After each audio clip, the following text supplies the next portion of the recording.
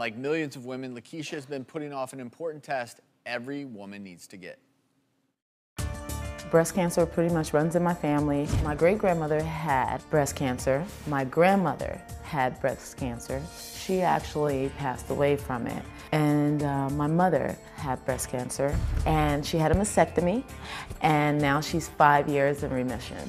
With my history and knowing everything, I have never, ever had a mammogram. Partly because I'm afraid, because of the history, and my idea of having a mammogram. They squeeze your breasts, they poke them. It just sounds painful for me. I'm a healthy person. I pride myself in trying to eat well and working out. You know, I'm in my 30s. We don't think about it. I just procrastinate. Well, Lakeisha is here along with OBGYN Dr. Robin Phillips. Welcome to you both.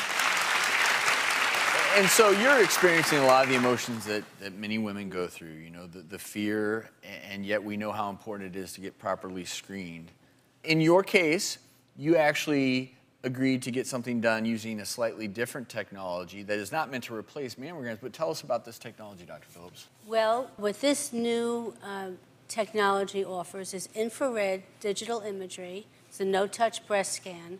We cool the breast down with an air conditioner like unit, and it's not unpleasant, as Lakeisha will tell you. And we're looking at the changes in the temperature of the breast. And normal vessels will clamp down, will no longer stay hot, and abnormal vessels will stay hot. So the current techniques we have, which are essential, like the mammography, looks for a physical image of of something which you can hold and you can touch, a real cancer. It's physically looking for the tumor. The tumor. This is looking for a process. This is looking for a development of something that's abnormal. And remember, what tumors mm-hmm. are, cancer, they're cells gone awry, and those mm. cells need blood flow to continue to grow. So in a way, you're looking for that sign, increased blood that's flow, right. and that's what the infrared imaging is used for. And, and again, we're not trying to say this is a replacement for, for mammograms. This can but, never replace a mammogram. And that's an important takeaway. But you did have this done. I have this done. And what, what did you find? Well, the great news is Lakeisha has normal breasts. I'm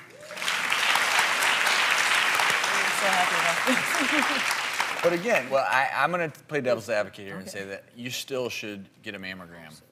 And so this is not a replacement. And I think that's the key is we're always looking for adjunctive therapies. And the question is, you know, where where can we go with thermography and infrared imaging? We actually have the no-touch breast scan chief technology offered, Matt Campisi here with us. And wh where do you see the future of, of infrared imaging when it comes to detection of cancers, et cetera, in the future? Ideally speaking, we would like to see uh, no-touch breast scan as part of, uh, an integral part of normal breast cancer screening uh, routine screening for all women. We know that when women have multiple tests performed, the likelihood of detecting cancer is higher and the probability of a missed cancer is actually much lower.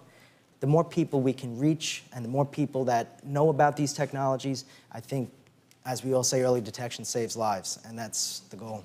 So true. Early detection does save lives. Lakeisha, thank you so much for coming on the show. Dr. Phillips, thank you as well.